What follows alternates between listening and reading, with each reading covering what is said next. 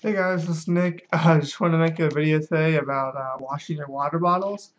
Um, so I've been working a lot, and at my work it's really hot. And there's no air conditioning.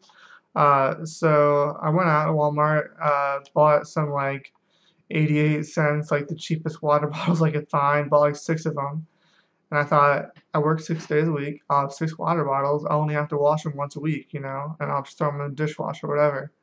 Uh, so I get to my sixth day, you know, and they're all done. And I put, I don't know, I think I put a couple in the dishwasher. And next thing I know, they're all melted.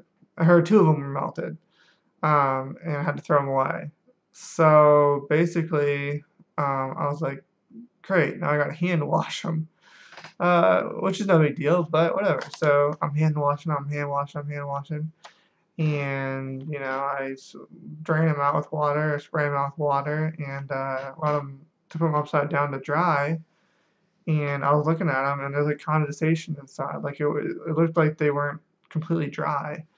And I thought to myself, man, like how would I dry these? Like, and I thought to myself, you know how they have on the like countertops, for kitchen countertops, they have like racks we could like you know those bottles or coffee cups or you know spoons or something just to like a drying rack I guess you'd call it. And there's prongs that are at an angle.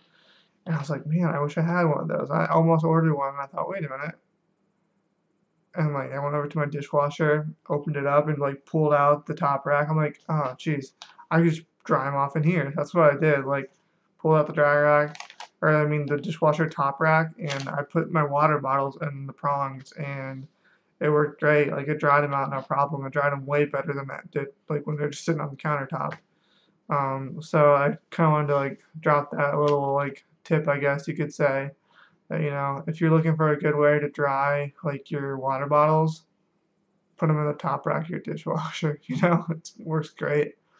But uh, I wanted to end this video by asking you guys like Am I doing it wrong? Like, is there a better way to wash, like, water bottles? Uh, I don't know. If you guys can think of anything or, you know, suggest anything, comment it down below. Uh, so, thank you so much and have an awesome day.